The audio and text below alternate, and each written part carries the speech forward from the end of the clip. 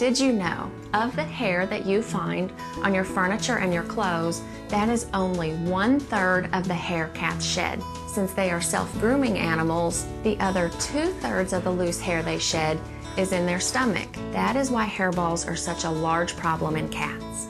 You can help your cat and prevent those displeasing and sometimes harmful hairballs by simply removing the undercoat before it is swallowed. This is a FURminator de-shedding tool. It is designed to safely and easily reach and remove loose undercoat without damaging or cutting the top coat.